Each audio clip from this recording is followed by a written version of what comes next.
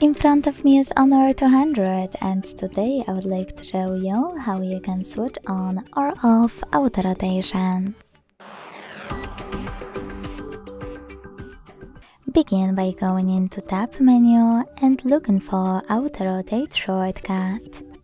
When you find it, click on it. As you can see mine is grey, which means that auto rotation is disabled. To enable it, click on the same shortcut again. Thanks so much for watching. If you enjoyed this video, leave a like, comment and subscribe. Bye!